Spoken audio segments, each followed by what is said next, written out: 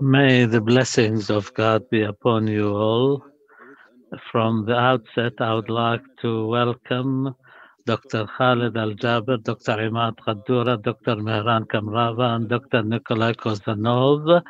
The session today will be on GCC Iranian relations and specifically in the post Trump era and we welcome all our followers and viewers and we thank the Arab Center for hosting this event in very difficult circumstances.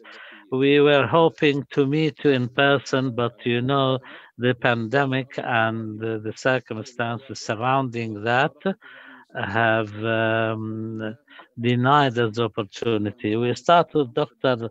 Khalid Al Jaber. He'll speak on the future of U.S. Gulf relations in the post Trump era. Thank you, Dr. Khalid. The floor is yours. Thank you very much, uh, Suhaim, for this uh, introduction. And uh, our thanks and appreciations to the Arab Center who have made us uh, now become accustomed to this uh, event which takes place annually. And uh, it's obvious that year after year the window of freedom narrows and with it the freedom of uh, or the ability to maybe think and express this is not just in the Arab world, maybe elsewhere. I'm in Washington, and we all think that this is a very important uh, period. This year was really fraught with difficulties and challenges, not at the level of the GCC, the Gulf countries, or Europe or the United States, but the entire world has been suffering from this pandemic which has not only impacted the health and medical uh, part, and but the, we all suffered, but it also had political, economic, and social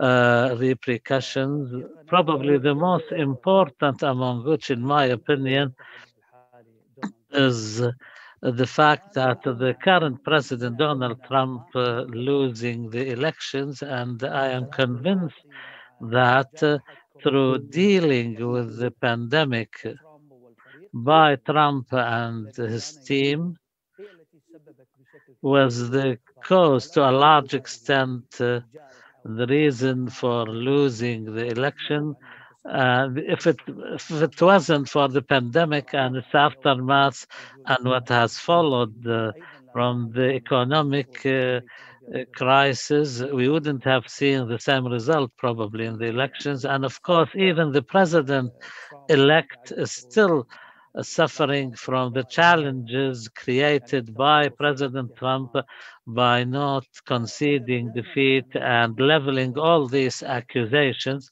if we start with the title of this session, The Future of U.S. Gulf Relations in the Post-Trump Era, maybe we must pause for a few seconds and take a look.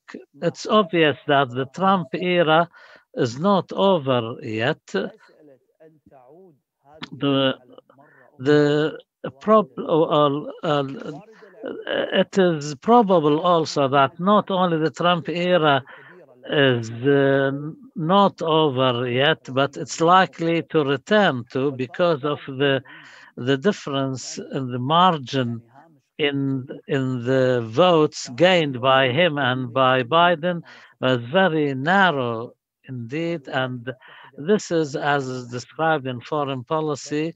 The United States has become like two countries. One country voting for Trump and uh, his uh, ideas since 2016 at the political, economic levels, at the level of healthcare, and also dealing with internal issues and external issues uh, vis-a-vis -vis, another vision presented by Biden, supported by the left and the liberals.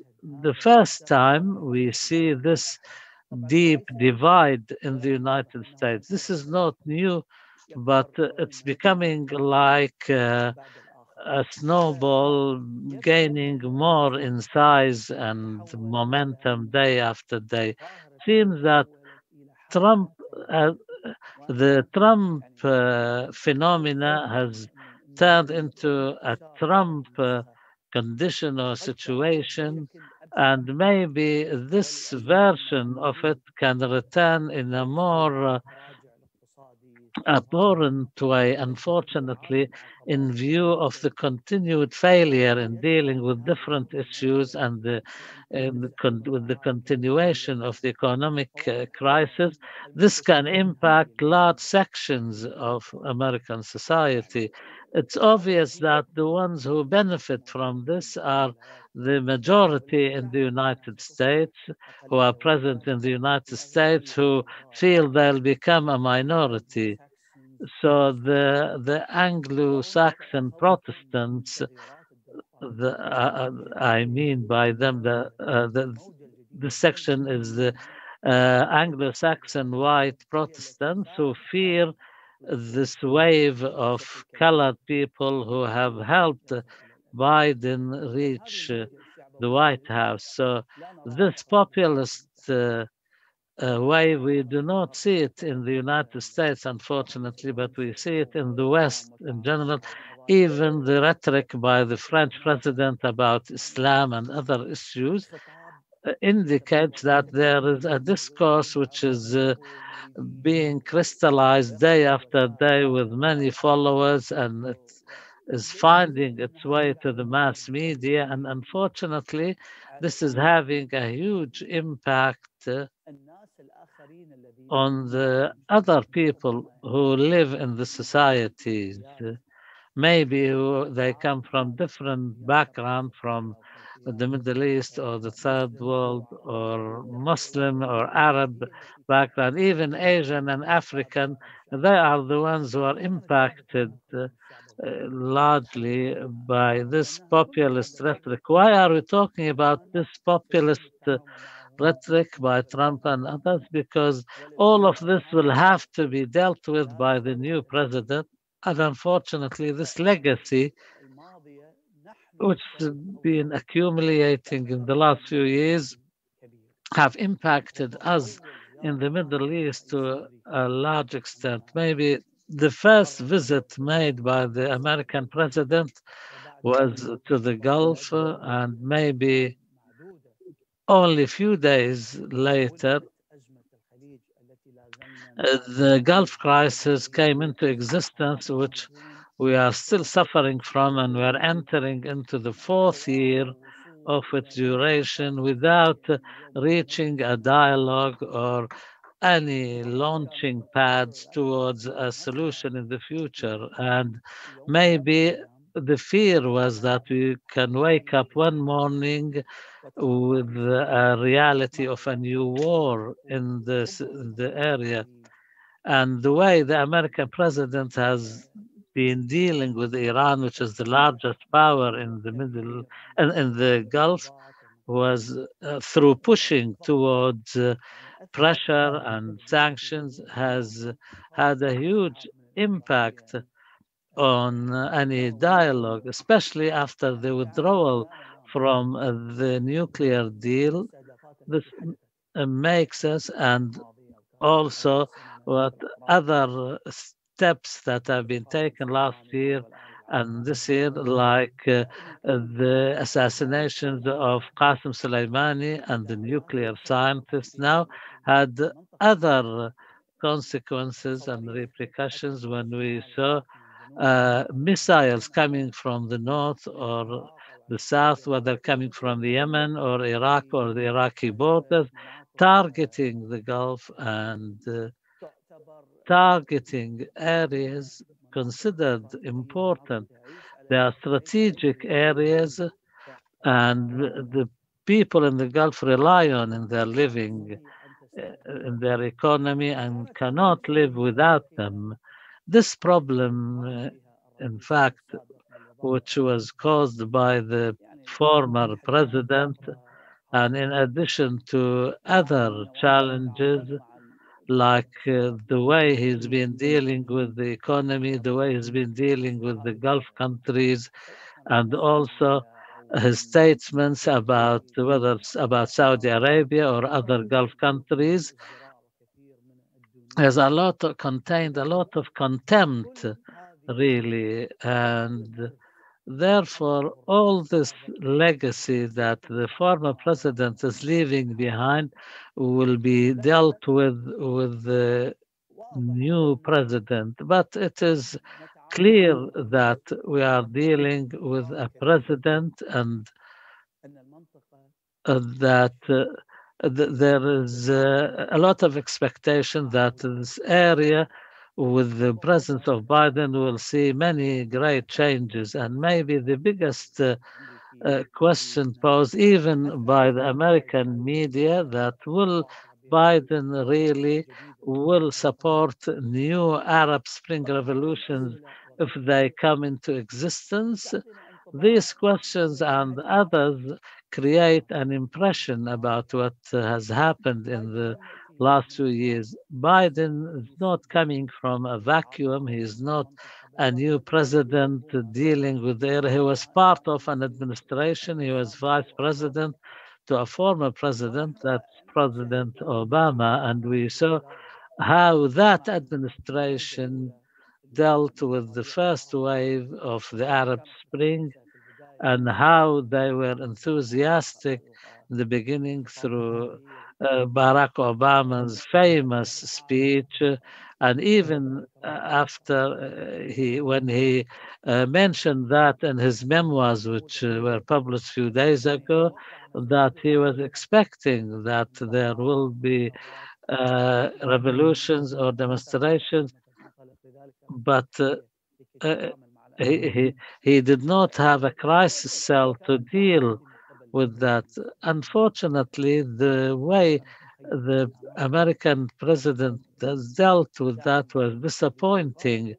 And maybe through the support received by the Arab Spring and the revolutions emanating from the streets in Egypt, Libya, and entered into Syria and reached some Gulf countries like Bahrain and Oman, for example, and other countries, all of this when the the situation has become that apparently it's moving in a different direction the american administration has given up on them in a way which saddened us all so much so that no real changes took place. And uh, we're talking about the Gulf now from 2010 until now.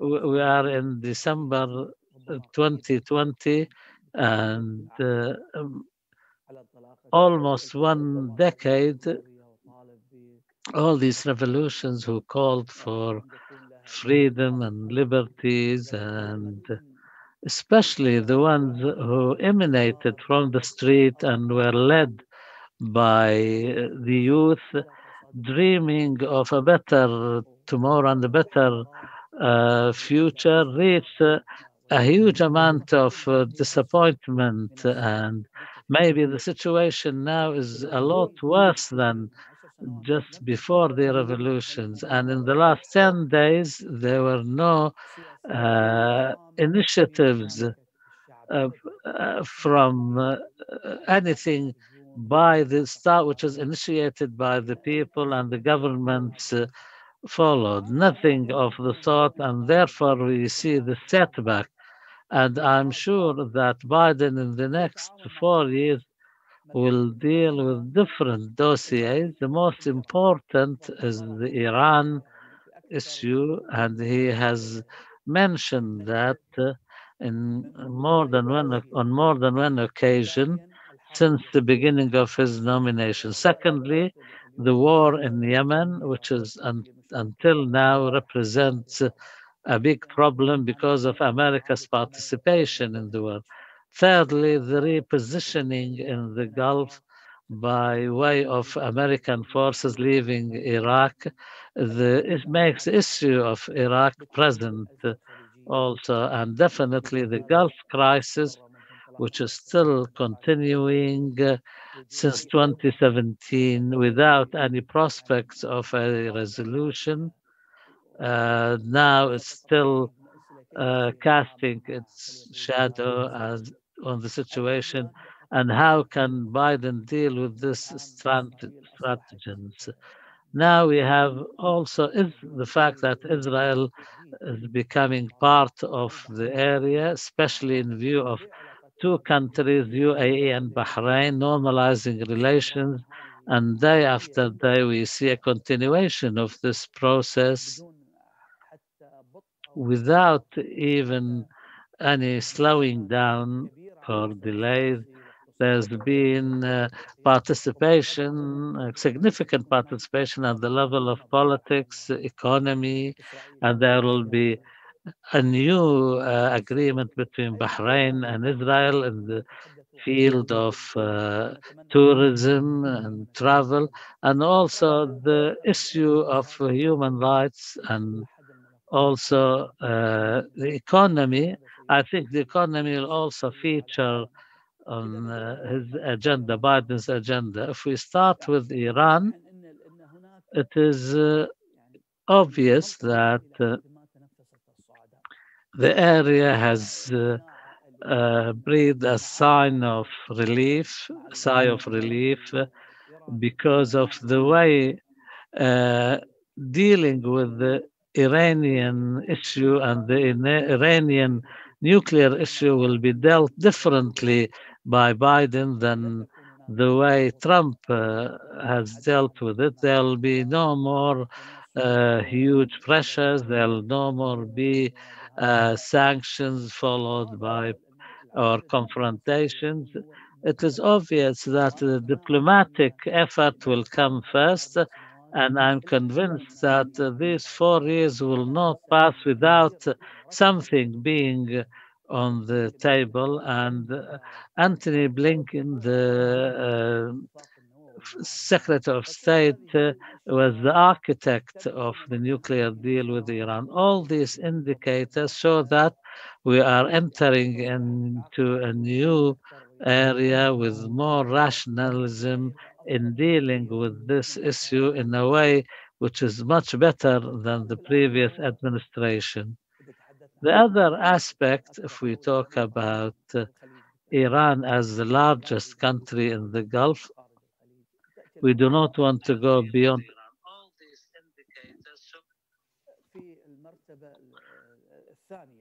And uh, I think Iraq now the problem is there is no consensus, and in view of the presence of American forces. Sorry to interrupt, Doctor, you have three minutes to finish. This was the important uh, big problem. I think uh, will there be a redeployment of the forces withdrawn from Iraq? Will they be redeployed somewhere else in the Gulf? And America under Biden may like to go back on the strategic vision of focusing on China and Russia and focusing on the challenges emanating from there more than the challenges from the Middle East. The other problem is with Iran, but Biden uh, and uh, with the uh, I think the war he means the war in Yemen. Biden will not want America to be part of it with American participation through missiles and that uh, provided to the warring parties, and uh, maybe there will be some sort of a consensus reached on this dossier. Also, for the Gulf crisis, there will be a bigger push towards uh, uh, a dialogue. I think maybe uh, the Qatar will be more comfortable with Biden because uh, the margin of maneuvering diplomatically and at the level of the media and the margin of freedom will be better than how things were with Trump in power. As for the human rights, this will also be present, but to what extent can Biden team deal with these issues? I, I don't think they will cut off relations with Egypt over uh, human rights or impose sanctions on some Gulf countries because they are imprisoning women and activists and religious uh, advocates. There will not be big decisions, and I don't think the United States will uh, bypass this huge dilemma uh, that the United States is dealing with. Of course, dealing with Israel will be the ever present uh, issue. And even before Trump's departure, and especially with the visits now being exchanged and the big push by Europe, I think Biden will continue these efforts uh, to make uh, Gulf countries to do more uh, in uh, so far as opening up to Iran, maybe Oman or Qatar or other Gulf countries. Now, the biggest prize is uh, uh Saudi Arabia normalizing relations with Israel, and uh, this will be a big change in this regard. What can the Gulf do? This is the final question. The problem in the Gulf that the Biden and his team coming to a Gulf, this is a new Gulf. The 40 years have changed. The Gulf is no longer as it was today. Every Gulf country has its own uh, uh, interests, whether to do with their own internal, regional, or international issues. And also, Turkey, Iran, and Israel are present in the area with their own agendas, which can be conflicting. And maybe there are some uh, reservations in Gulf countries towards these countries. And also the question of security and based on the vision by the GCC, which when it was first founded, is different. Also, American openness with China and Russia and other issues. Thank you very much, Dr. Khalid. I'm sorry to interrupt. We have to leave it here and maybe we can revisit some of the issues and the questions and answers. And now we give the floor to Dr. Nikolay Kozhanov, and he will be speaking on the Iran-US tensions and the issue of the Gulf Energy Security, Dr. Nicola. Present your papers and you have between 15 to 20 minutes. Thank you very much. Uh, thank you very much, Sheikh, uh, Sheikh Suhaim. Um, I'll try to be brief. Uh, first of all, I would like to um, uh, thank the organizers, the, the Arab Center, for this opportunity to join you today and to share uh, my uh, thoughts on how the evolution or the current evolution of the global uh, oil market is affecting the security dynamics of uh, the Gulf countries. Uh, I also would like to note that it, this presentation is a part of a larger research project which is conducted by the uh, Gulf Studies Center of Qatar University on the geopolitics of hydrocarbons. And today I would like to focus uh, on the um, uh, interesting uh, phenomenon uh, of change in the strategy of, of Iran towards the Gulf. and especially I would like to get focused on the um, uh, economic reasonings for, for this. Uh, as we could see, the last two years were marked with a very interesting change in Iran's uh, approaches to, to the Gulf um, and especially within the framework of the ongoing the US-Iranian confrontation. Uh, either by uh, its own hands or by the hands of its proxies in the region, Tehran was able to challenge the security of oil supplies and threaten the security of oil infrastructure of some GCC countries. Uh, the most uh, obvious examples of this is definitely the uh, Abqaiq and Khurais incidents uh, of September 2019. It's also the attempt to seize the, the oil tankers during the summer of 2019, but also, we should mention that uh, only for uh, the last 30 days, uh, the um, oil producing infrastructure of Saudi Arabia was under attack of Houthi rebels for at least three times.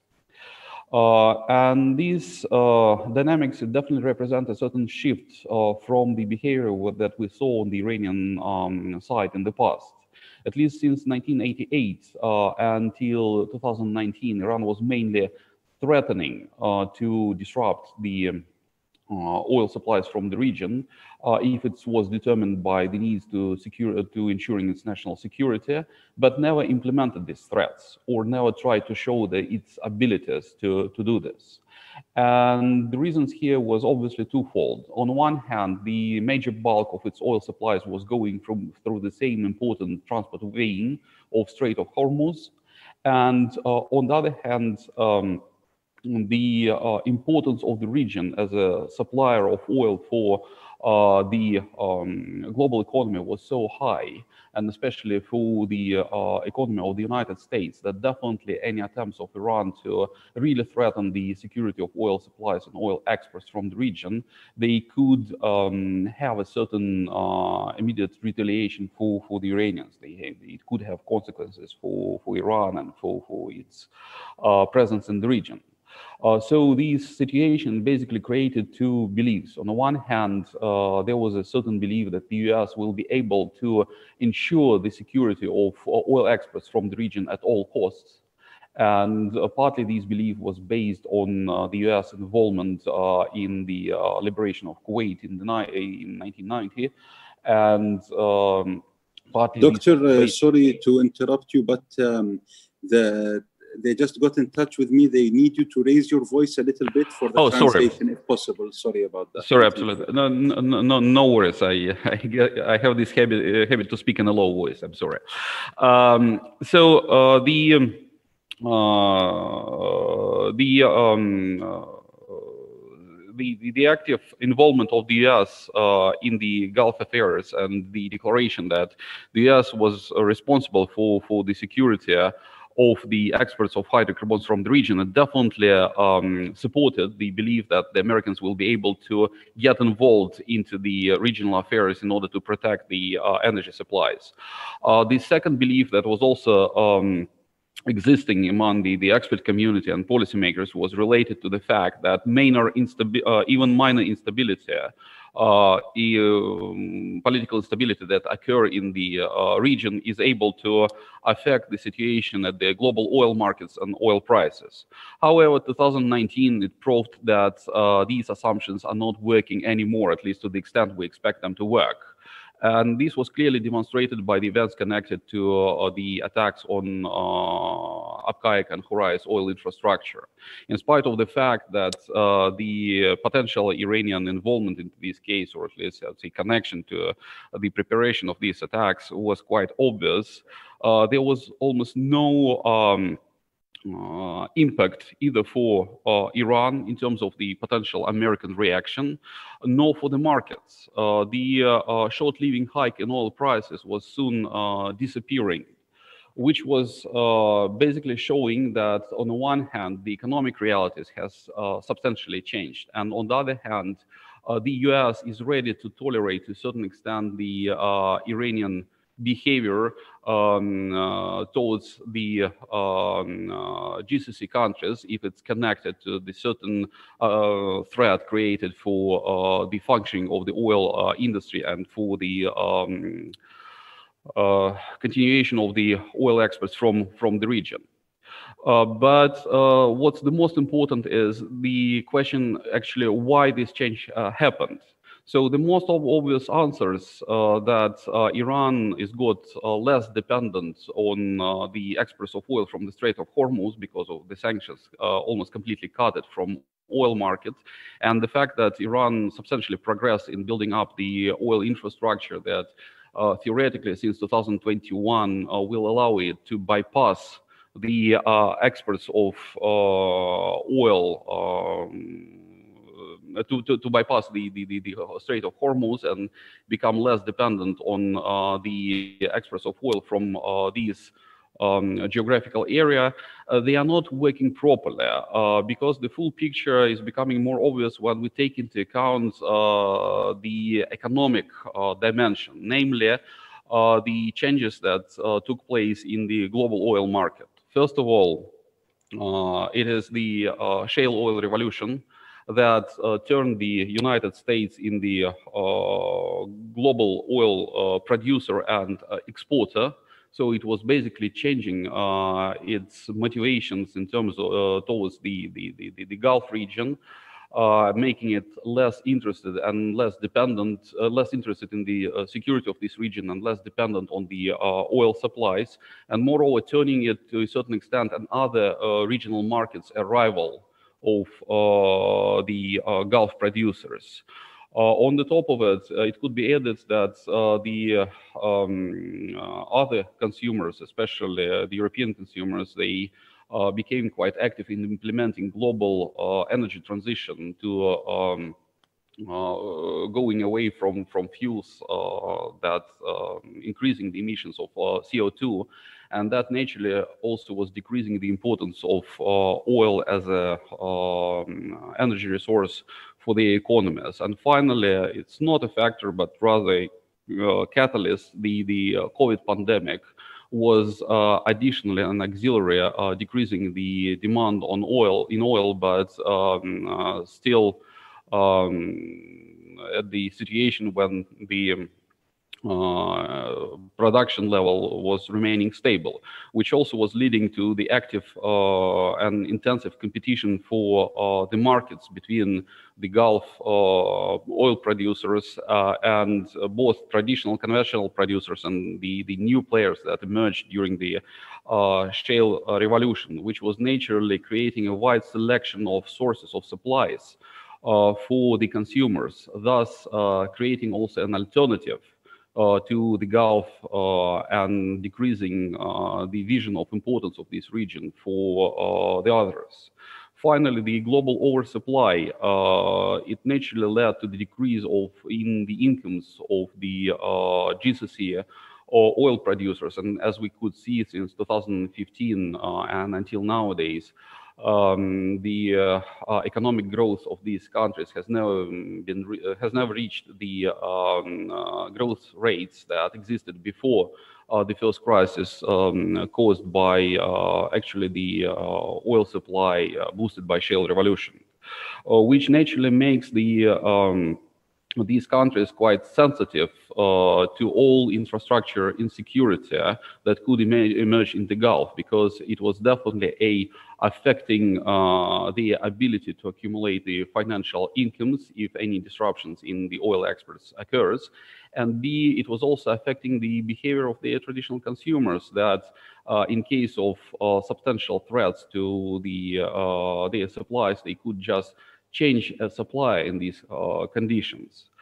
Uh, in other words, uh, all these uh, changes in the global oil market, they uh, made a substantial um, shift in our understanding of the uh, Gulf energy security. If previously it was the security of supply, so when the international community, due to the importance of this region, was interested in ensuring its own access to the Gulf resources, now it became the security of demand when the producers themselves are compelled to ensure and to guarantee their access to the market, which uh, absolutely um, uh, changes uh, the whole dynamic, political dynamics for Iran, uh, making uh, the GCC countries represent a ideal leverage of uh, influence over uh, the United States. So, relatively to who is going to uh, occupy uh, the White House for the next uh, four years, these countries are definitely remaining the ally of the United States. But at the same time, the ally whose security is probably less important than the security of um, the US other partner, Israel. And it was clearly demonstrated again after the Abqaiq incident when the United States basically showed no reaction to uh, the uh, Iran-supported Houthi attacks on the uh, oil infrastructure of Saudi Arabia. But on the other hand, they reacted actively in December, in January 2021 uh, by uh, killing uh, General Qasem Soleimani, which was largely considered as a revenge uh, for uh, the uh, death of the U.S. citizen during the Iran during the attacks on the American infrastructure in Iraq staged by the Iranian proxies. So this was, this was clearly showing that the red line which Iran shouldn't uh, cross for uh, the US, it changed. It was not no more uh, the lives of the GCC citizens or the, the security of the GCC infrastructure, but rather the lives of the American citizens presenting in the region. Uh, and uh, as a result, uh, these partners of the US, they, they're becoming vulnerable and quite vulnerable to, to, to the further American, sorry, Iranian behavior in the region. So the pressure on them is quite possible, and that's what Iran is uh, currently doing by the hands of uh, its proxies. Uh, by putting additional pressure on the GCC countries, Iran is definitely showing the United States that their partners uh, are in the reach of Iran. It also uh, prevents uh, trying to, to, to, to, to prevent the uh, GCC countries from following or actively supporting anti-Iranian moves in the region. And again, it was clearly demonstrated by the fact that the GCC monarchies were, were quite quick um, to uh, establish active contacts with, with Iran after the assassination of Qasem Soleimani. And the uh, Emirates, in spite of uh, quite um, positive dynamics in their relations with Israel, were among the first uh, actually to um, uh, condemn the assassination of the uh, Iranian scientist Fakhrizadeh. Uh, and finally, it's also uh, creating uh, helps to, to, to, to, create the split inside the GCC countries, as it was clearly formulated during the first day of our know, forum by one of the participants.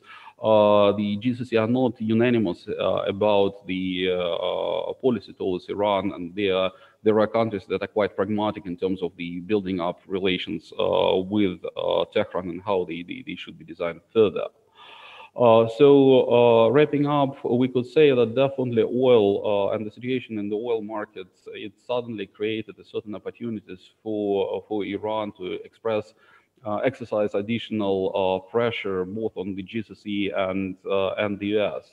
And moreover, given that the long-term perspectives are not saying about any substantial improvement, evolution, or changes in the situation in the market that could, for instance, bring the situation back to the pre 2019 or better to say pre-2015 uh, situation, we could say that uh, these opportunities will continue to exist and Iran might exploit them uh, in case of necessity, but also uh, under the condition that it will be still watching certain limits and not not not, not crossing them and uh, conducting operations in the region.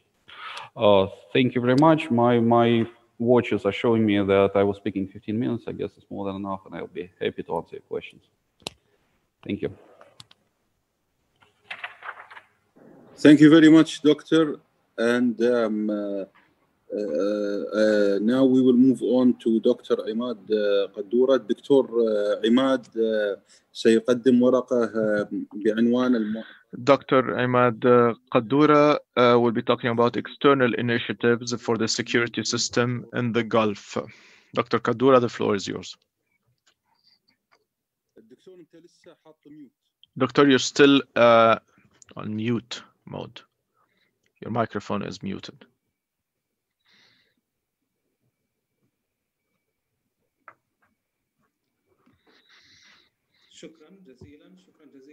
Thank you, uh, Sheikh uh, for uh, this introduction, and I would I would like to thank the Arab Center. Can you hear me?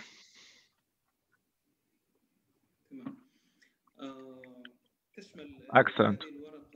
So, my paper is entitled External Initiatives for the Security System in the Gulf, uh, the United States, uh, Russia, China, India, and Pakistan.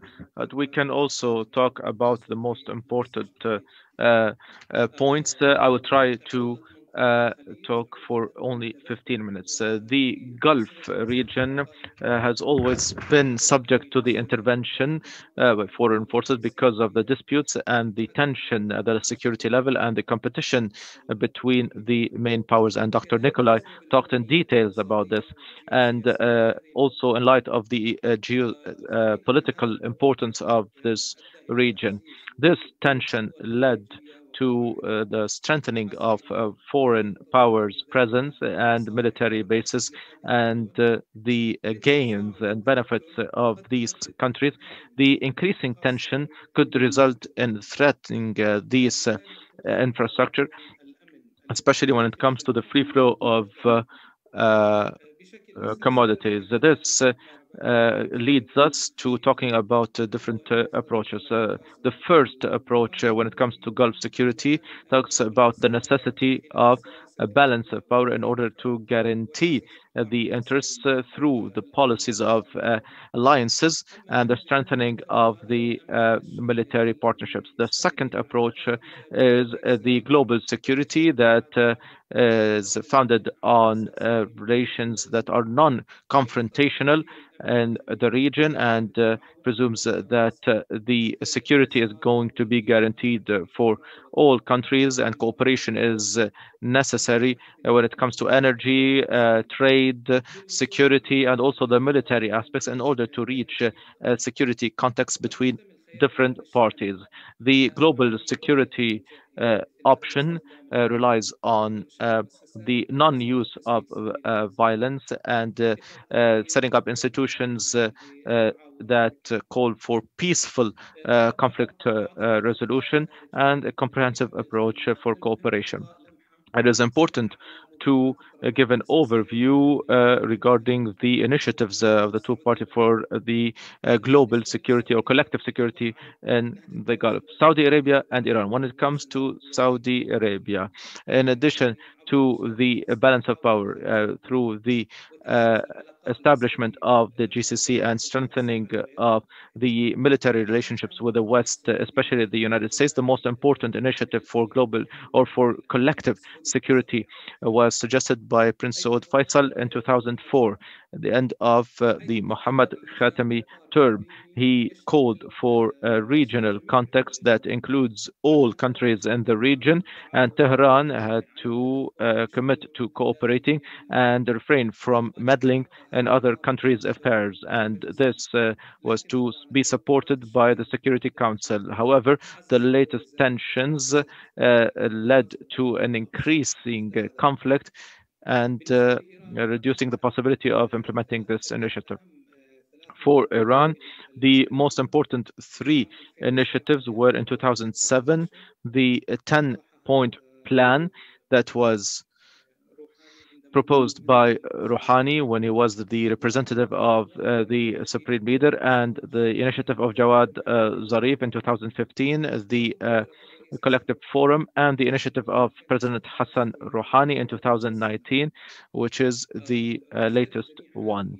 These uh, initiatives uh, all call for a context for uh, collective cooperation, including all countries in the Gulf under the umbrella of the United Nations and the withdrawal of all foreign forces and strengthening the regional uh, affair, uh, relations with all its aspects for Iran, uh, practically speaking, uh, uh, Iran focused on uh, the arm race and uh, the balance of power. We start with important foreign initiatives for Gulf security. We can talk about the most important one by the United States of America throughout the last decade, uh, the Obama and Trump administrations disagreed regarding the uh, involvement of Iran in the Gulf. Uh, it was all in the service of the U.S. interests and the plan of gradual withdrawal. None of them announced they were committed vis-a-vis this uh, security structure in the Gulf. Uh, the Obama administration tried to expand the participation of Iran through negotiations. And the JCPOA signed in 2015 was the opportunity to uh, take this first step towards a system that could improve the region's uh, relations and reduce the military commitment by uh, the US and also control Iranian uh, behavior regionally and internationally. Of course, Saudi Arabia was against the nuclear deal and uh, any rapprochement between the United States and Iran. And uh, could uh, go back to the Nixon principle and uh, uh, the uh, it was uh, based uh, on Iran mainly.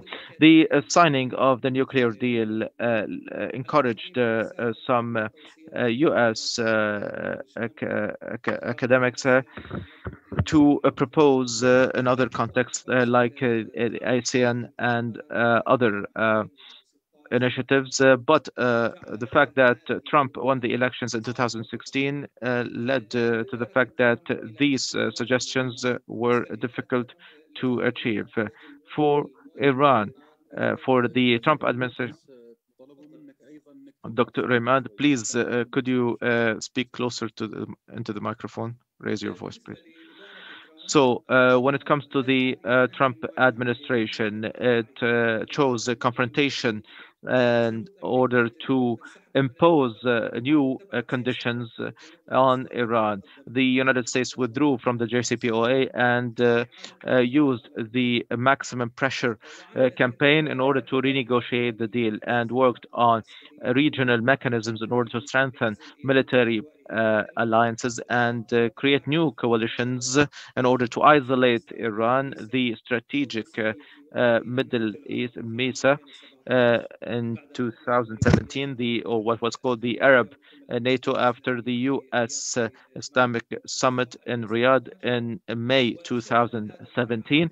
That alliance or that coalition included the GCC countries, the six countries, in addition to Egypt, Jordan, and the United States. And uh, the uh, other coalition was the International Coalition for the Protection of the Maritime uh, uh, movement in 2019 in Bahrain to include the US, uh, GCC, except uh, for Oman and Australia and other countries. With the Biden administration, we could uh, backtrack to the Obama approach, but it might be challenging because Iran uh, rejects the expansion of the uh, deal and uh, the negotiations when it comes to ballistic missiles and its rights to expand uh, its uh, missile arsenal and anything uh, that is agreed upon with the Biden administration could be uh, put to an end by a new administration, just like what happened uh, during the transition from Obama to Trump. This is uh, when it comes to the US. As to Russia, it was the only country uh, with a detailed, clear initiative in order to create a security system in the Gulf based on global security. In light of its rising involvement in the uh, regional and international affairs and uh, its involvement in the Gulf and present its uh, military arsenal as an alternative. Russia suggested uh, uh, cooperation at the level of uh, security in the Gulf.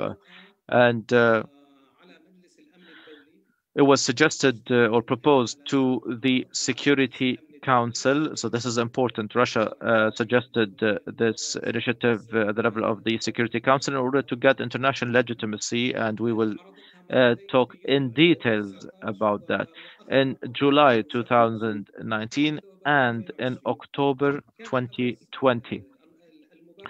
The uh, initiative is lengthy, but the most important uh, texts were creating a security regime in the Gulf through a long-term uh, program in order to normalize the uh, relation, the relations and uh, strengthen stability and security. And uh, there was a focus on global security throughout uh, the security fields to include the economy, energy, and uh, uh, military. And uh, it would start uh, by finding solutions to the most pressing problems with the alliance of all countries uh, against terrorism and guarantee a political solution in Syria and other places. Uh, the coalition against terrorism suggested that uh, Saudi Arabia and Iran agree on sponsoring uh, terrorism, but uh, each country accuses the other uh, of uh, sponsoring terrorism. And when it comes to multi-dimensional approach or multilateral approach,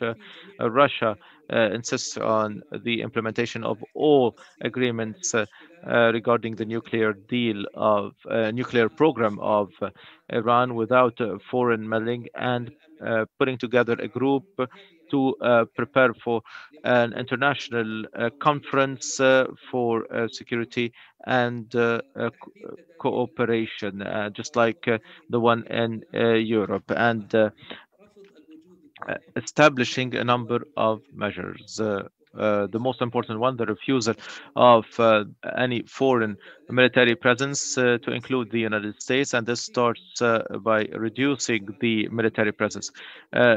Russia presents itself as a guarantor of uh, security of the Gulf, uh, and Russia is uh, ready to cooperate in order to guarantee the security of Gulf countries. There were different uh, responses. Of course, Iran welcomed this initiative because it is in line with its initiatives and the two countries agree that the security system need to include all Gulf countries without exclusion and uh, the withdrawal of foreign forces and having an international conference for the security of the Gulf under the umbrella of the United Nations and paving the way for uh, this security system by confidence uh, or trust building mechanisms that, that, could lead to uh, conflict resolution. The Gulf uh, countries did not or were not interested in this initiative. And when Russia suggested the first uh, initiative in 2019 and 2020, uh,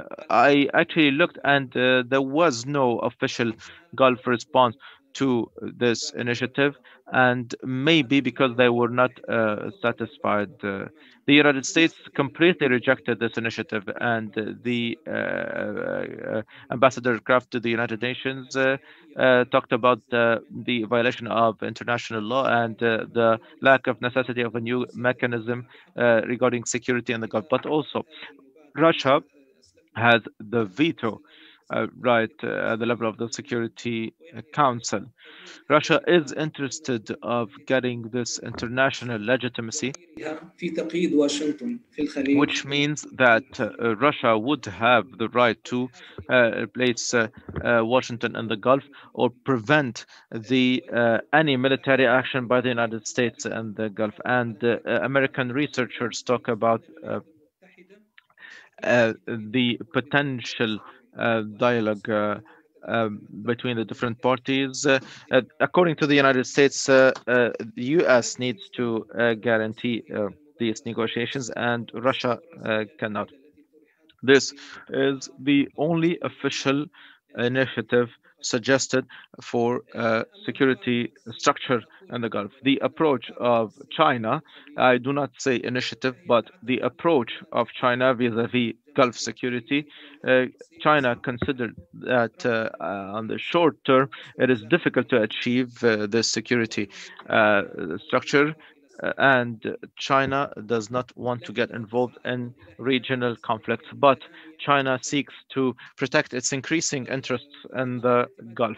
In addition to its reliance on Gulf from uh, on energy from the Gulf, trade with ويمكن ان نذكر كمثال فقط انها كانت uh, trade uh, with the countries increased and we can say that the uh, trade in 1990 was 1.5 billion dollars and now it's more than 250 billion US dollars.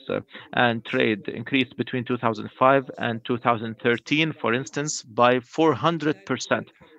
This is why the movement by China in the region lately is based on this uh, uh, fact and uh, since it is uh, uh, rising or state or power, it needs to have a role in the region. The first move by China was presenting the uh, the China's uh, Arab policy paper in uh, 2016. This paper sheds light on the development strategies in the region and the uh, uh, fact that China could cooperate uh, in general, without referring to Iran. this paper included the GCC. Um, in terms of a strategic dialogue between the two parties. Uh, Xi Jinping in 2016 visited uh, Saudi Arabia, Egypt, and Iran. During this visit, uh, the uh, president uh, uh, discussed bilateral relations and not the collective or multilateral relations. And despite the fact that uh, we're talking about January 2016, where tensions were increasing between Saudi Arabia and Iran. Uh, China refused to play the role of a moderator uh, of a, uh, excuse me, of a mediator between the two countries.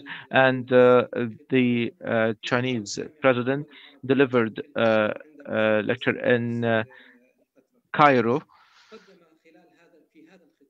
at the headquarters of the Arab League, uh, in which he presented the vision of China for security and stability. Dr. Ahmad, three minutes, please. Thank you. So the most important uh, uh, thing in this uh, statement was that uh, China rejects the use of power and uh, the um, influence uh, region mentality and the long-term Chinese approach by creating this cooperation pattern. so one, two, three pattern. First of all, energy in addition to infrastructure and facilitation of uh, trade and investments, and representing uh, the uh, state-of-the-art technology for nuclear technologies and new um, energy sources need to be included. So this is the Chinese approach uh, that does not include the, military aspect, uh, and it is directed towards the Arab region in general, not necessarily the Gulf. And uh, uh the uh, statement focused on uh, solutions from within. China hosted in 2019 a conference without presenting practical suggestions. China wants to uh, preserve its vital interests, uh, avoiding the uh, security involvement in the Gulf, uh, including uh, among the biggest 10 exporter exporting countries to China. Uh, most of them are Gulf countries in addition to Iran. China also avoids being perceived as a competitor to the west and the Gulf. Despite that, China cannot disregard the security issue in the Gulf despite the absence of uh, official initiative. And uh, the strategic patience, uh, the great patience of uh, China on the long term focuses on uh, creating an increasing relationship uh, and the Road and Belt Initiative and is also another initiative that uh, allows China in the future to uh, suggest uh, new initiatives. Currently, GCC are not Uh, from a geographic uh, perspective, part of this road. But Iran, uh, when it comes to uh, the geography, uh, the uh, geographic aspect is important to this road, and especially the railways from China to Tehran, talking about 10, 9,000 plus kilometers of railways. So the uh, the continuation of the tension caused uh, the lack of uh, uh links uh, between the Gulf countries. We need to remember that China is building the biggest trade road in the world, and it will have links with economic hubs all over the world. The president of China, Xi Jinping, during his visit to Saudi Arabia, uh, highlighted uh, the fact that uh, the GCC countries want to be linked with this project, and this strengthens the scenario that says that China in the future will be an interested uh, party in this security, global security of the Gulf but uh, China has a long-term patience. Thank you. Thank you, Doctor. Thank you. Thank you, Dr. Ahmad. Thank you very much, Dr. Ahmad. الآن سوف who will speak about institution uh, and uh, policy in, um, uh, in institutional policy in Iran relations with the GCC um, and uh, Doctor, uh, you have between 15 and 20 minutes. Um, please go ahead and thank you very much. Thank you very much, Sheikh Suhaim. It's a pleasure and an honor being here, uh, particularly uh, being a panelist with such uh, distinguished colleagues. I'm thrilled to be here. Um, we heard uh, three excellent presentations that focused on various aspects of international relations, uh, in relation to the US foreign policy and its potential directions under the Biden presidency, uh, Iran, Russia, and uh, the energy dimension, and uh, finally by Dr. Emad and uh, the very perceptive and insightful comments on China.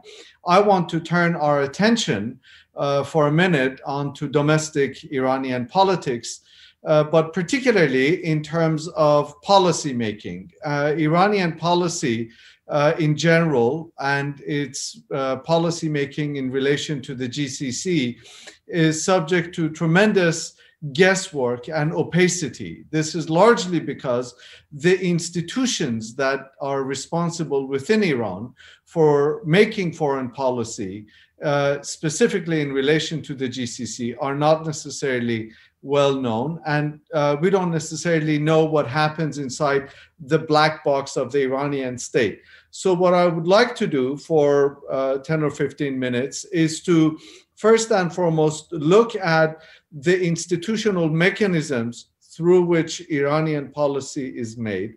What are some of the uh, consequences of uh, that policy and how Iranian policy plays itself out? And then lastly, what are some of the constraints, institutional and structural constraints that uh, Iranian policy is played out within? So, what's the larger context within which Iranian policy in relation to the GCC is made?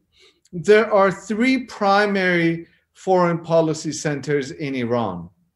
And I had assumed up until research for this uh, uh, paper that uh, Iranian policy in the GCC or Iranian foreign policy in general tends to be contradictory. But I have discovered actually that Iranian foreign policy and security policy tend to be a product of compromises, bargains, and give and take processes within institutions inside the Islamic Republic the three institutions and the three centers of gravity within Iran that make foreign policy are not necessarily equal, but nonetheless, all three of them are consequential and important. They include, first and foremost, the executive, namely the presidency and the foreign policy establishment. Second, the Islamic Revolutionary Guards Corps or the IRGC. And then third and most important, the office of the leader, the leader. And so let me spend a minute talking about each of these in particular. Now, we know that Iranian uh, foreign policy, of course, has uh, the foreign minister as the spokesperson. Uh, oftentimes, uh, we hear from Riyadh, for example, or even Abu Dhabi, that it's not the Iranian foreign policy establishment that makes foreign policy, but it's the IRGC. Nonetheless, we know that at least theoretically and the broad outlines of Iranian foreign policy are often articulated and devised by the Iranian foreign policy establishment. There is, of course, that other second institution that has input uh, in Iranian foreign policy, namely the IRGC. IRGC is actually legally, constitutionally in charge of Iranian security policy, both domestically and internationally. We know that Iran's border policies, in particular, are the purview of the IRGC. IRGC has gone through a number of generational changes. The first generation that uh, constituted the IRGC in the aftermath of the Iranian Revolution was ideologically committed to the ideals of the Islamic Revolution. Usually they came from lower middle class or lower class backgrounds, and they, they joined as volunteers rather than as professional soldiers. Second generation came uh, in the era of Reconstruction, once the war ended once the first generation basically retired at the end of the war in 1989 or 1990 and the second generation of IRGC commanders came they were really opportunists these were businessmen at heart and they uh, interestingly in 1997 overwhelmingly voted by some accounts 73% of them voted for the reformist Mohammad Khatami as president. This prompted Ayatollah Khamenei to direct the commanders of the IRGC to ensure the force's ideological loyalty and its uh, commitment to the ideals of the Islamic Revolution. And as a result, in the year 2000, the IRGC went through a process of change whereby it once again became ideologically highly committed. And at the same time, it underwent a process of professionalization. And that is the third generation that is currently um, uh, in charge of IRGC. And uh, it's that, that third generation that uh, we see. The, these are two of the centers, the presidency and the IRGC, that have relatively equal amounts of power. At least they are equally the less po uh, powerful of the three partners. Ultimately, the decision is made by Khamenei, the, uh, the leader, um, or what Western journalists mistakenly call the supreme leader. There's no such term in Farsi. It's actually called uh, the leader. Khamenei's position himself has gone through important fundamental changes. Up until 2009, the president uh, uh, was by far the more powerful institution within this triumvirate. And the office of the leadership was really involved in some key issues, namely relations with the United States and the nuclear question during the presidency of Ahmadinejad, in, uh, and specifically the second term of Ahmadinejad presidency, once Khamenei had to intervene in the aftermath of the contested presidential election, he became far more directly involved in the exercise of power and in the day to day running of the government. He wasn't just now in charge of the overall direction of the Islamic system. He became an active participant in the political process. And what we see is after 2009, Khamenei has become far more involved in domestic uh, political processes, but also far more importantly, in relation to our discussion today, in Iranian foreign policy in setting the direction and the guidelines of the Iranian foreign policy. Ideologically, Khamenei falls somewhere in uh, uh, to the right of center of the Iranian ideological spectrum. But I think it is fundamentally important for us to keep in mind that Khamenei is ultimately a pragmatist. He actually said very blatantly in a public speech that if it is in the interests of the system, Nizam, I am willing to negotiate with the Americans. And we see again and again, he has stayed away and he has given himself cover and he has endorsed what the president has done. He has endorsed what the IRGC has done. And at the last strategic moment, he has given himself plausible deniability. For example, he endorsed the nuclear negotiations, but once the United States pulled out, he came out and said, Well, I always knew that the Americans couldn't be trusted.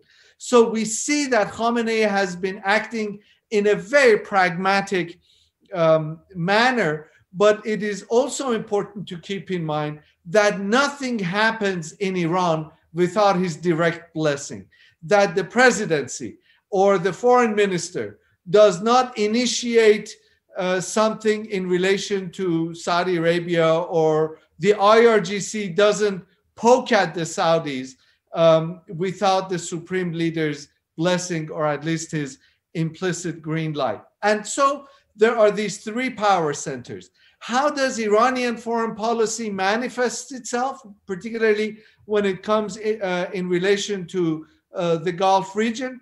There are four broad baskets of concern that Iran has when it comes to uh, its immediate environment, and in particular when it comes to uh, the GCC. First and foremost, Iranian foreign and security policies are made based on balance of power calculations.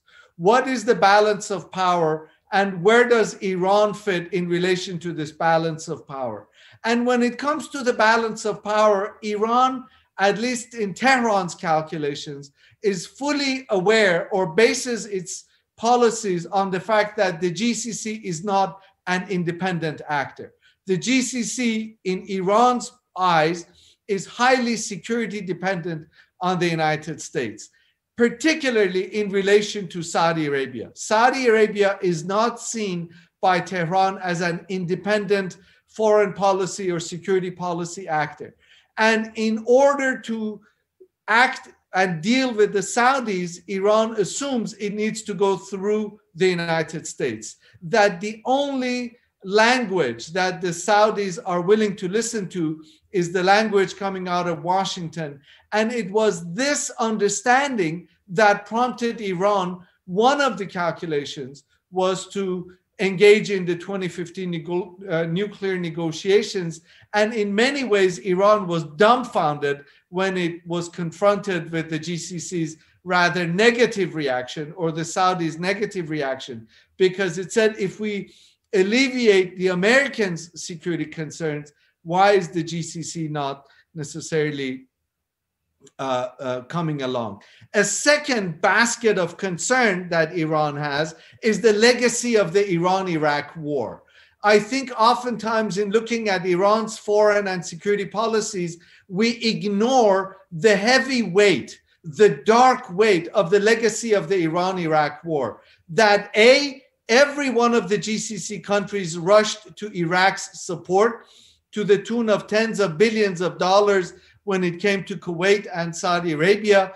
And B, nobody was willing to help Iran procure weapons. The only ones who were willing to sell Iran weapons were the Israelis, of course, at a premium price. And this is what is driving Iran's missile program. The fact that Iran is alone, or at least in Tehran's eyes, uh, Iran is alone. Nobody is going to uh, come to its help at a time of need.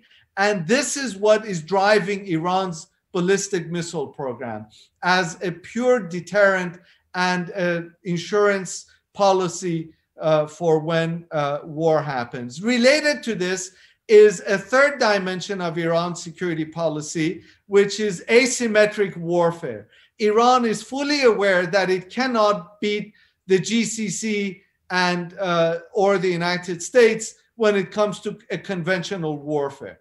And therefore, Iran has to, by definition, by nature, engage in asymmetric warfare, whereby local commanders are given complete autonomy to act on their own without getting uh, authorization from Tehran uh, or from any headquarters, uh, regional or national. They can act on their own.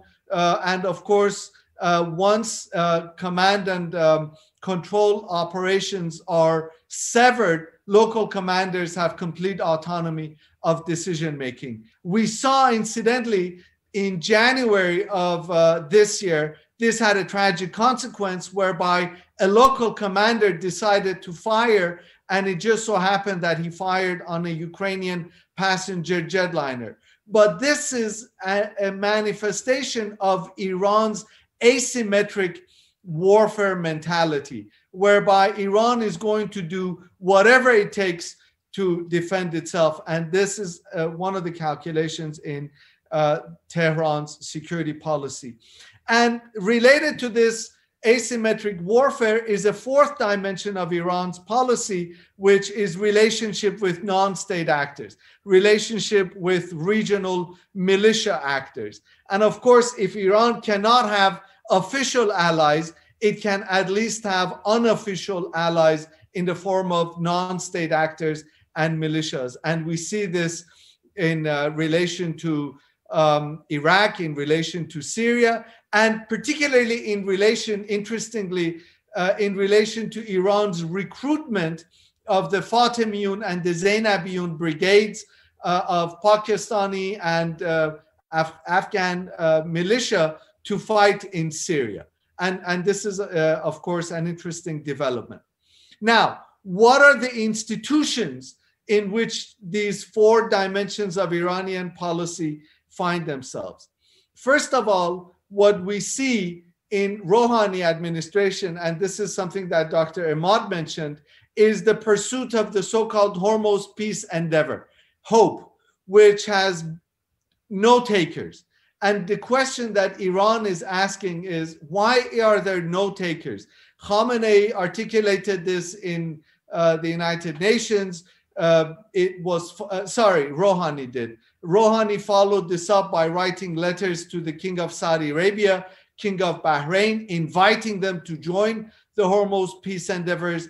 And there have been no takers. Nobody has uh, gone for this. And the question is why? Question of why this is the case is because of the structure, the structural makeup of security architecture in the GCC and in the Gulf environment. And we see three dominant features to the security architecture whereby Iranian um, uh, Iranian overtures to the GCC fall on deaf ears. First of all, there's the American security umbrella.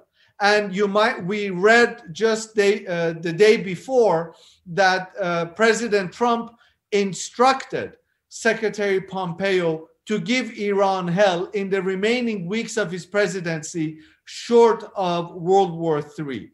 Uh, give Iran hell uh, uh, in the remaining timetable of the Trump presidency, short of World War III. So the American security umbrella has been designed to bring Iran to its knees, whether it is through assassinations or if it's through maximum pressure campaign or whatever means there might be available.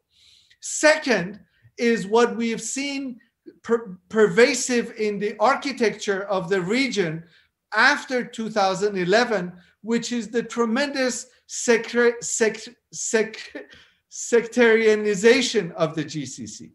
What we see is that both Tehran and regional capitals, whether it is uh, Kuwait or Manama or Riyadh or Abu Dhabi or even Doha, tend to perceive of the rest of the region through sectarian eyes.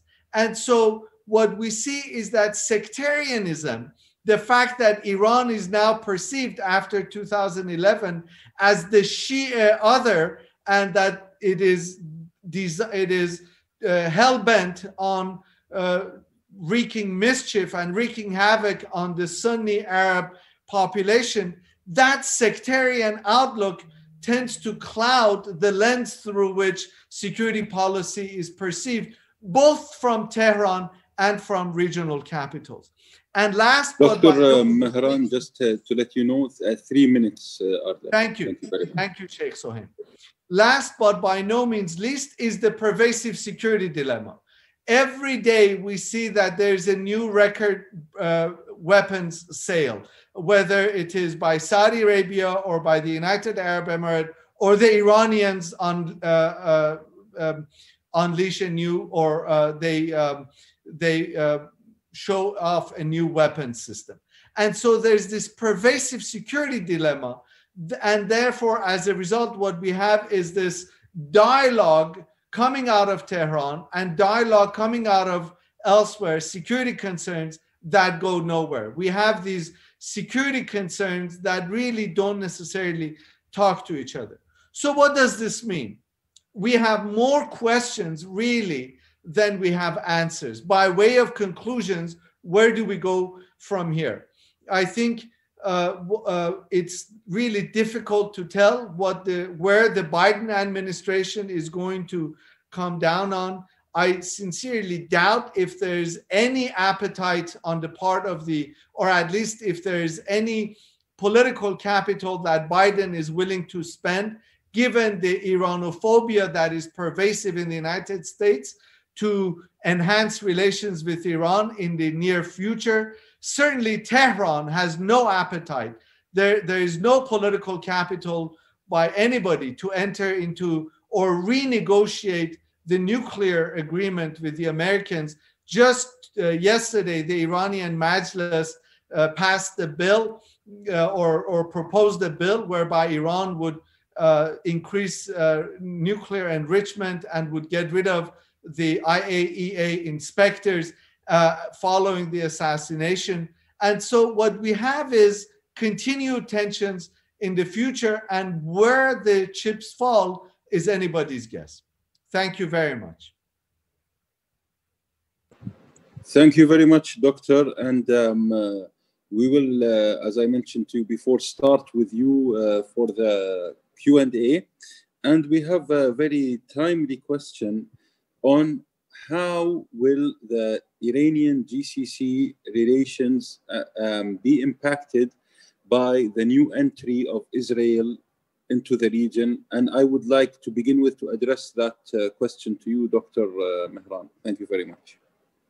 Uh, thank you. Cer- certainly, this is something that the Iranians are strategically concerned about. If uh, the um, uh, if the weapons sale that the UAE has asked for uh, goes through, and now that the relationship between um, UAE and um, Bahrain uh, that has existed with Israel, now that it has become official, uh, then of course uh, the, there's a different uh, strategic calculus. This will only perpetuate the security dilemma uh, as far as Tehran is concerned and these countries are concerned. I, I'll stop here, but let me just mention that this normalization, we shouldn't make too much of it.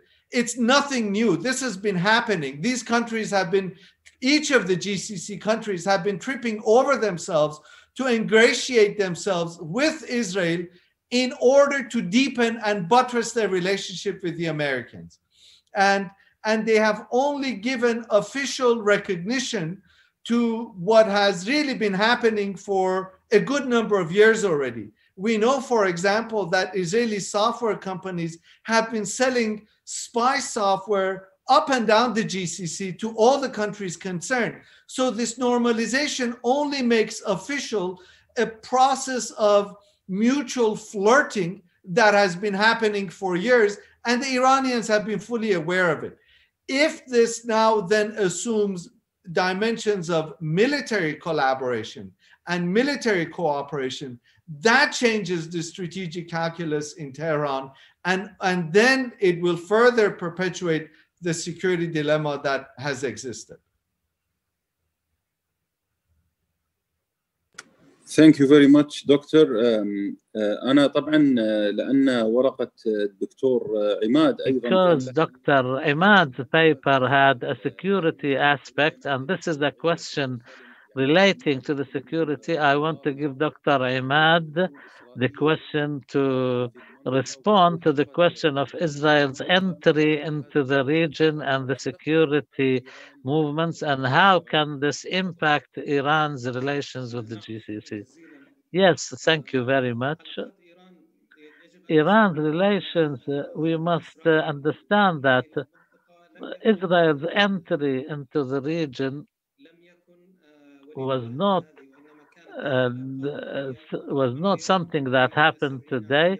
They had strong relations between Iran with Israel in the days of the Shah, and that has meant that the balance of power uh, was tilting towards Iran. And then the, when the Gulf countries stood by Iraq, Uh, this caused the, the Iranian-Israeli relations with an element of tension. Now, what we see now is that there is normalization between the Gulf countries and Israel, and Iran is on the other side of the fence.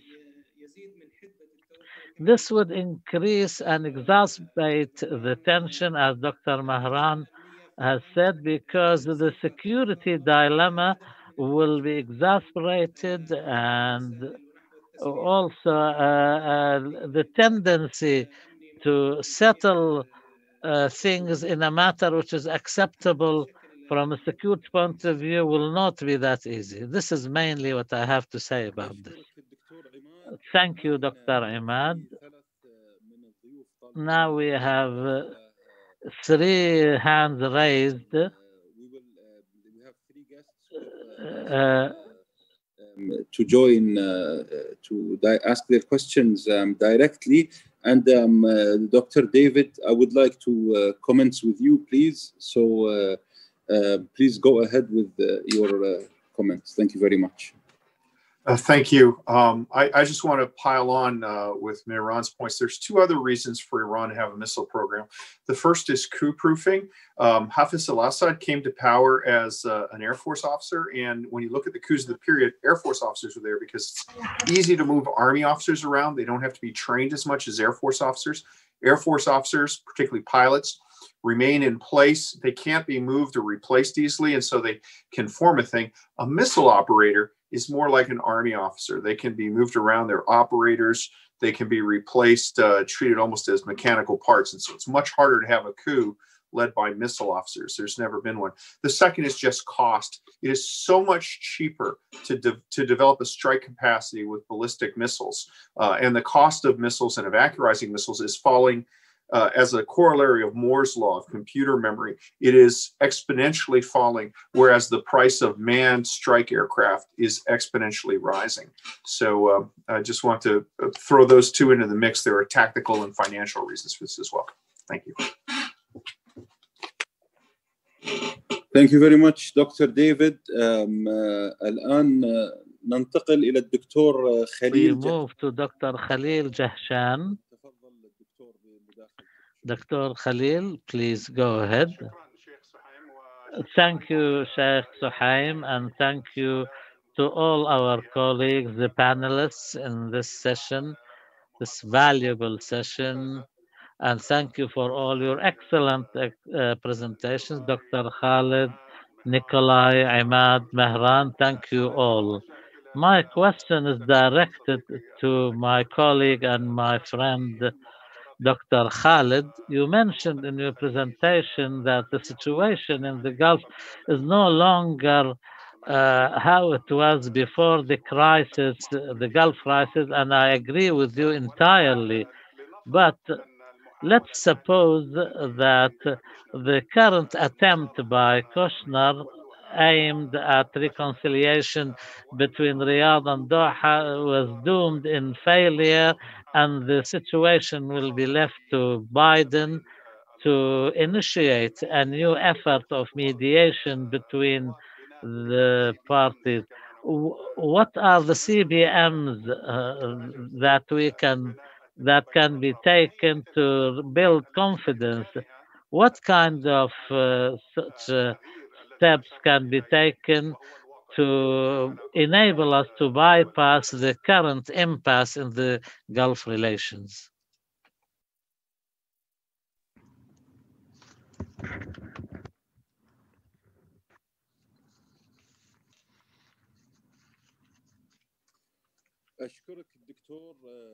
I would like to thank you, uh, Doctor. And there's also an intervention by Dr. مهنا آه، مهنا الحبيل. الحبيل. دكتور مهنا وشكرا Dr. Mohanna. The floor is yours. اهلا وسهلا مرحبا شيخ Thank you. Uh, good evening, uh, Sheikh Suhaim. I would like to thank you and thank the Arab Center. And uh, I would like to thank everybody for their interventions. I would like to uh, add uh, uh, something uh, to uh, the valuable uh, papers that were presented by uh, our colleagues.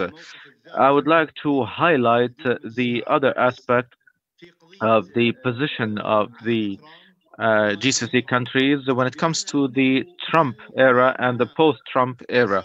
Uh, so, uh, is there an important space that affected the uh, uh, security of the Gulf, the bilateral relations, the social aspect, and the general national interests in the Gulf uh, based on the changes from within? Yes, I say yes, there is a major change.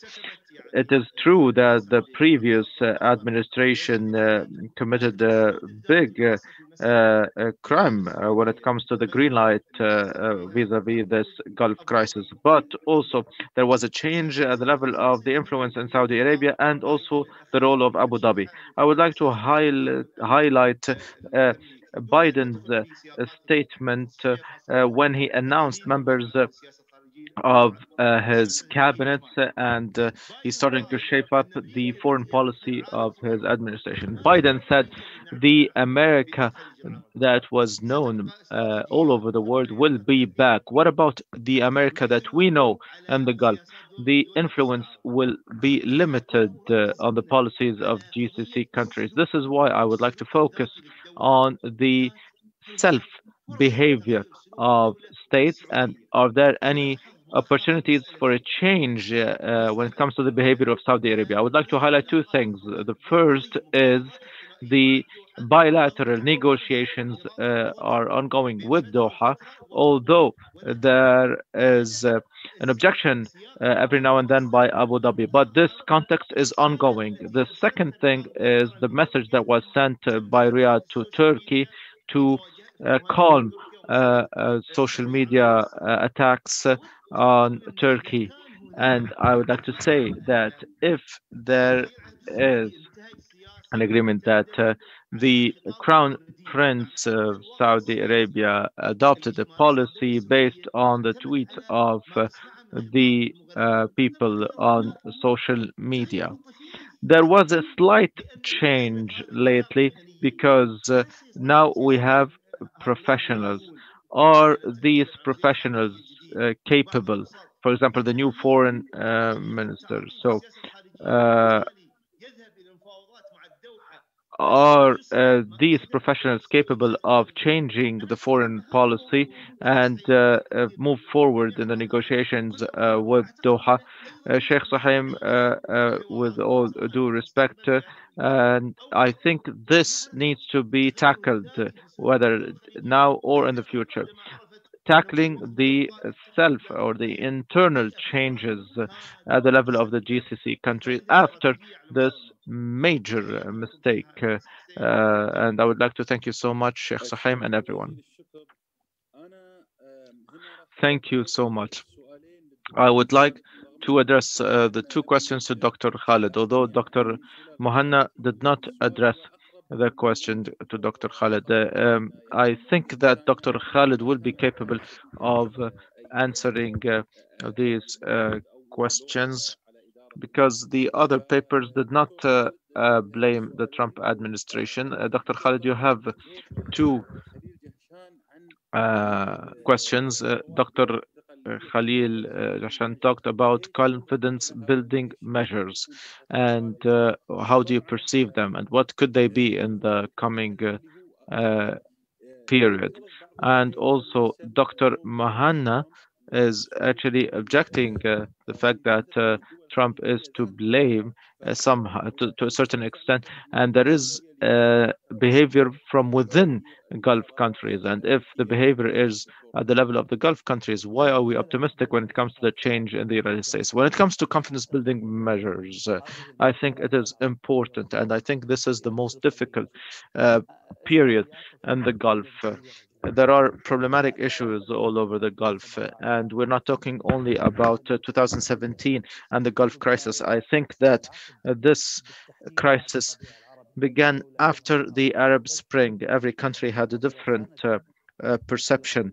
Uh, some countries supported change, supported revolutions. Qatar, for instance, and the media coverage by uh, of uh, revolution al jazeera uh, played an important role as opposed to saudi arabia and the emirates uh, who invested in the other side and wanted to keep the status quo.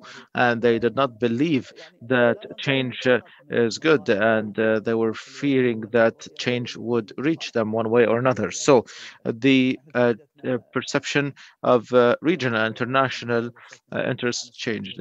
we talked about Iran, we talked about Israel, maybe we didn't talk about Turkey, and this needs maybe another uh, seminar or cover, but it is clear that the three regional powers are in a battle in this region and they have their strategic uh, perception, their ideology.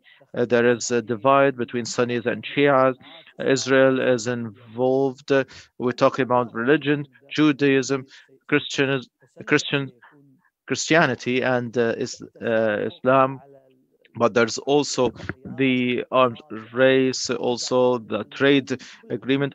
Everything is threatening the whole system and also another problematic issue when it comes to Biden and his perception of the region. I think the most important uh, issue with Biden, not only at the political level and the foreign policy level, 1.7 billion uh, invested uh, by Biden, and this will strike the uh, Gulf economy. Uh, what comes after the era of oil and gas, uh, especially that water resources are scarce. So I think that uh, the Biden administration will not be capable of making major changes. And if we talk today about the post-Trump era, we shouldn't be uh, very optimistic. Maybe Trump will uh, return uh, and uh, this happened with the 22nd president who became the 24th. Uh, America is divided from within, and when it comes to foreign policy, same applies to the Gulf. We cannot talk today about a uni uh, or a unified uh, vision vis-a-vis anything, uh, whether internal or external. There are also questions. Will the GCC meet even through Zoom like we're doing now? So there are major problematic issues, uh, confidence building, uh, the return to uh, comprehensive Gulf vision. I think this is uh, not possible in the near future. I think this will need uh, time. Until now, we don't have any indicators of such a return. And I do not think that there will be a cooperation uh, by uh, the Gulf as a bloc with the Biden administration. I think each country will uh, preserve its interests. And uh, even when each country goes to the United States uh, in order to lobby, uh, etc., it would be at the service of their interests and visions and not the interest and vision of the bloc. I would like to thank you, Dr. Uh, Khalid.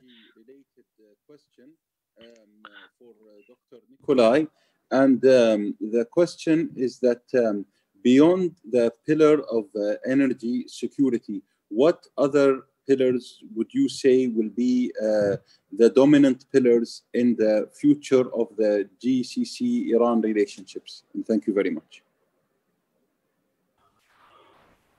Well, uh, thank you very much for the question, though it's um, going uh, beyond the, the, the topic of, of my paper, and I would say beyond the, the, the topic of my specializa specialization, and I would definitely ask uh, Dr. Macron to help me with answering it. Um, my main point uh, with my paper was uh, that basically energy security is not a pillar right now uh, of, uh, but rather I would say, a factor that uh, makes these uh, relations uh, less stable. In a sense that it is creating unexpectedly a certain vulnerability, creating a certain space that Iran can exploit uh, within the framework of its asymmetric conflict with the uh, United States, with the uh, with Israel, because it's also important to keep in mind that for um, Iran, the tensions that emerge between it and Israel, between it and the GCC countries, they are largely considered within the framework of its uh, broader confrontation with the US. And um, the uh, key importance in terms of the uh, energy security uh, was definitely uh, played by the fact that the US perception of this region has changed and it has changed due to the fact that uh, the um, dependence that existed in the previous decades on the export of hydrocarbon resources from here, uh, it changed nature. So nowadays, uh, the United States, they, they do remain interested in the certain uh, security and stability of uh, the flow of hydrocarbons from the Gulf but only in terms of how this flow is affecting the dynamics of oil prices, the dynamics of uh, the situation in uh, the markets. So which definitely make them less interested in um, ensuring the, the hardcore security. And definitely it it's leading to rising the question, uh, who should be actually responsible for the security of the Gulf um, in the situation when the major flow of hydrocarbons is going right now uh, to Asia and especially to China, one of the main opponents of the United States.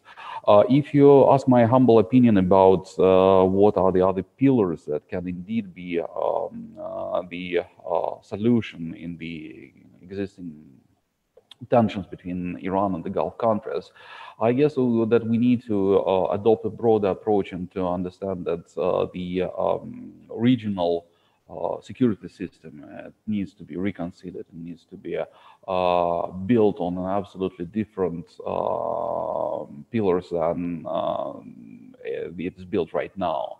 Uh, please don't understand that I'm trying to promote the, the, Russian vision of the security of the Gulf. Uh, and from my point of view, this document is extremely weak and rather represent the Russian uh, intention to get involved into the discussion than to establish something solid in the Gulf. Uh, but the direction of the thinking is definitely correct. Uh, the, there should be a system of uh, mutual trust and confidence built, whether it should be based on a comprehensive agreement, um, I don't know. I'm quite skeptical. Probably it should be built uh, through the um, chain of uh, minor steps, uh, through the chain of um, uh, confidence measures built, probably at initially not in the um, hot areas, not in the sensitive areas, but in the areas where the dialogue is possible, namely, again, in the area of uh, cooperation in the culture, in ecology, in handling in some local conflicts, maybe to working out the modus vivendi of uh, uh development of joint uh, fields, uh, oil and gas fields, and first of all, uh, the, the, the, the, largest gas field here, or through the creation of understanding how to ensure uh, the security of navigation again in the Strait of Hormuz. Uh, but again, uh, this is going slightly beyond the area of my analysis and expertise, and I would appreciate my colleagues to chip in to this discussion. First of all, Dr. Mehran. Thank you. Thank you very much, Doctor. Um, الآن طالب الدكتور موسى أن يتحدث. Now, uh, Dr. Musa would like to intervene. Dr. Musa, uh, the floor is yours. I would like to remind you that uh, we are about to uh, get to the end of this uh, session. You can raise your hand uh, to ask a question or write down your question and hopefully we will have enough time to answer your question. Thank you, uh, Doctor, for uh, this excellent uh, uh, moderation. Uh, moderation. Actually, about the domestic politics that in Iran, they are always seeing the GCC countries and Arab countries via the eyes of the United States. Um, and I would like to tell him also um, that in Arab countries and also GCC countries, we are seeing to Iran uh, also via the eyes of Russia. And, and this is actually, uh, Iran has no full ownership of its foreign, uh, foreign policies or orientations. And it is kind of uh, proxy war. And also he mentioned to a very uh, important point about uh, that Iran has no uh, way to have to establish a formal relationship with GCC countries or other Arab countries. Um, Iran started to establish relationship with the uh, non-state actors. And I don't know who gave Iran the, the, the right to establish uh, diplomatic relationship with the non-state actors. Uh, it is really, this is very strange because we know the motives uh, behind that is not just uh, political things. It is more uh, religious and, uh, and the religion is element is behind that. And they, Iranians, they demolished societies and also states in like in Yemen, in Syria, in Libya, everywhere. So we, we should not uh, speak with, this uh, this regime in this way, a normal way. This is trying to demolish societies and also countries. We are suffering, especially in Yemen. We are suffering from Iran. Yemen has no nothing to do with religion before, but Iran established a lot of a lot of problems for the, for the country. What what kind of uh, establishing a relationship with non-state actors? The Arabs have no even any links with the domestic politics in Iran. They do, they didn't establish non-state actors in Iran. Uh, also, a lot of problems. This is, is my my uh, my reaction to uh, to Mehran. Thank you so much. شكرا شكرا دكتور um, Thank you, doctor.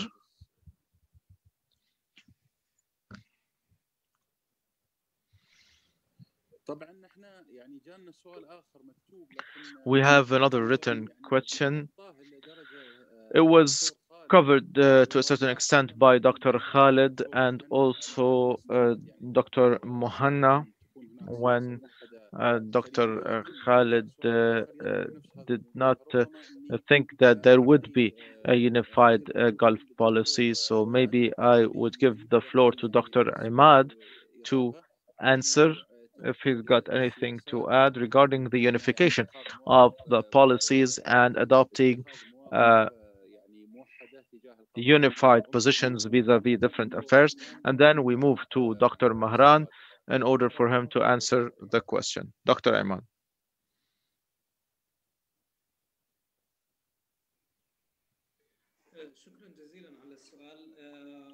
Thank you so much for this question. In fact, we need to take into account that uh, the problem problems are increasing between Gulf countries since uh, the beginning of the uh, crisis, uh, and not only between Iran and Gulf countries. Yes, uh, there are uh, tensions between Iran and Gulf countries, but there are also good relations between Iran and Gulf countries, as opposed to the situation when it comes to the intra Gulf or inter-GCC uh, relations uh, that are witnessing increasing tensions. So it is difficult to say that the improvement of the Gulf relations uh, is uh, something uh, possible uh, in order to face Iran. There are different positions vis-a-vis -vis Iran. Some countries consider Iran as an existential threat, like Bahrain, and also main threat like uh, Saudi Arabia, but also Iran has good relations with uh, Oman and also good relations with Qatar. So, counting on uh, the possibility of bending uh, this uh, security approach, uh, taking into account the problem between Iran and Gulf countries, this is actually highly questionable. In the past, uh, there were uh, positions uh, by the Gulf when the GCC was established in, in 1981. There was a common objective, which is defense. And uh, uh, later on, it was discovered that this approach was not efficient, especially vis-a-vis Iran. It was used between Gulf countries, just like what happened in Bahrain. So it is difficult to say that the relations between Gulf countries, should they improve, would be uh, uh, would have a positive influence when it comes to the relation with Iran.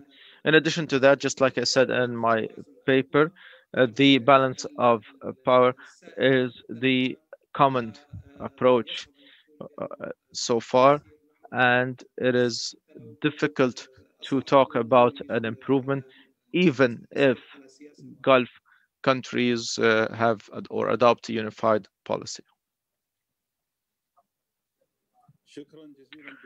Thank you, uh, Dr. Ahmad a few points in uh, in uh, the question um, uh, addressed to you, mainly relating to Iran and the proxies in the region, and um, and your opinion about that. Thank you very much. Uh, thank you. I fully agree with Musa that uh, the region has suffered from uh, from proxy wars. but I think it's important to remember also that it was Mohammed bin Salman who um, smiled and said, We're going to take the war to Iran. And that was followed by an attack on the IRGC's um, uh, military parade. Uh, and uh, just last week, uh, Iran presented evidence, intelligence evidence of Saudi involvement in that attack.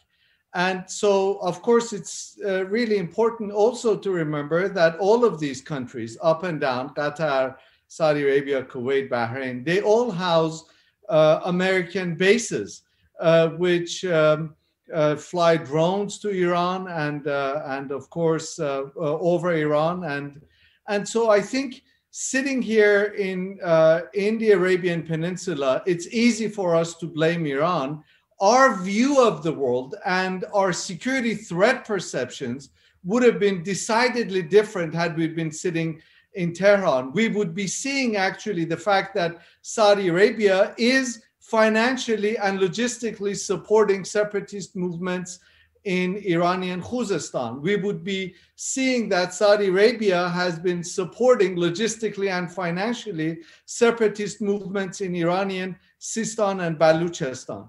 And so I think it's important for us to step out of this mutual accusation of, well, those people are doing this, these people are doing this.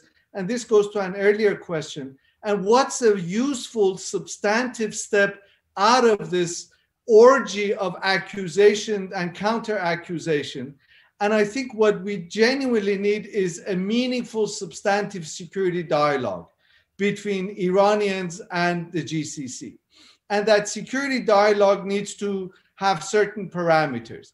Everybody needs to outline what their genuine security concerns are and what are their red lines. What are the contours within which they're willing to uh, uh, negotiate and, and discuss their security dialogues. Forget track two diplomacy, forget cultural exchanges, forget mutual understanding. Let's get into the substance of what is it that the Saudis, the uh, Qataris, the Kuwaitis, the Bahrainis are genuinely concerned about?